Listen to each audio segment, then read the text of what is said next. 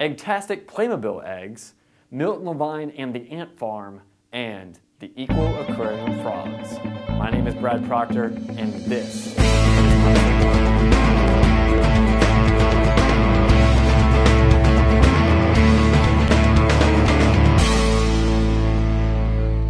past week, we got in a large shipment of new Playmobil items. And one of the items we got that we posted on Facebook this week was the Playmobil eggs.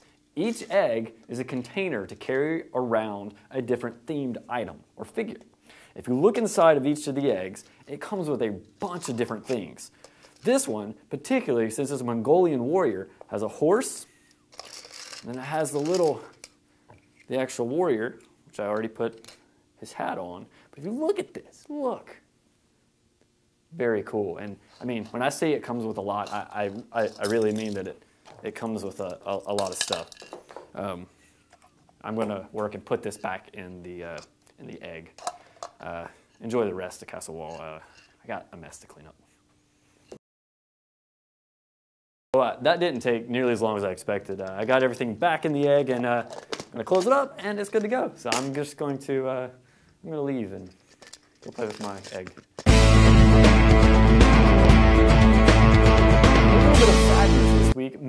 Levine, the co-inventor of the ant farm, died at the age of 97.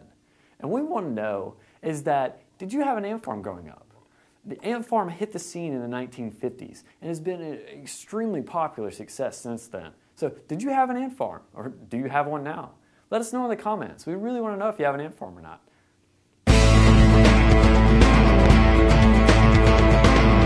featured item in our store for this week, for January 29th, is the Eco Aquarium Frogs. It is an entire ecosystem for two African dwarf frogs. What this means is that they are two males, so they cannot reproduce, and they are dwarf frogs, meaning they will not get larger than the habitat they are currently in. When you buy these, you get a year's supply of food, and one of the comments, I think Carrie was one of the person people that was asking about this. The care form is fairly fairly simple.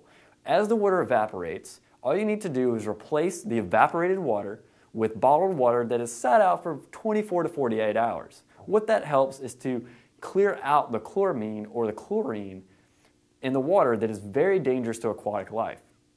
Overall, these frogs are very easy to take care of. They're fed twice a week, and it is very, very simple to do. The frogs are normally $24.99, but this Saturday, which is tomorrow, January 29th, they are $14.99. You could not ask for a better price on these. Now it is time for your questions. Each week we're going to put a post up asking for you to comment with any question you have for us, and we'll answer it right here on the show. This week we put one up really fast today, and Sean, who's actually one of our buyers, um, asked the question are you going to do any more in store events like you did for Drew's birthday? Drew, I know I said your birthday and I know I said your name.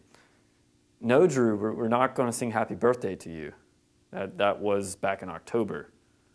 I, I know your birthday was really, really cool and you really enjoyed all the people that came out. okay. All right. Well, as Drew pointed out, his birthday was pretty awesome. And we really enjoyed the turnout. So throughout this year, expect some really, really cool events in our store. That is about all I can say. We haven't planned any yet, but as we start to plan them, we will want you to know about them. We'll talk about them on Castle Wall, we'll post them on Facebook, and we want your input because the event is for you to have fun. And that's it for this week's episode of Castle Wall. My name is Brad Proctor, and until next time, we'll see you on Facebook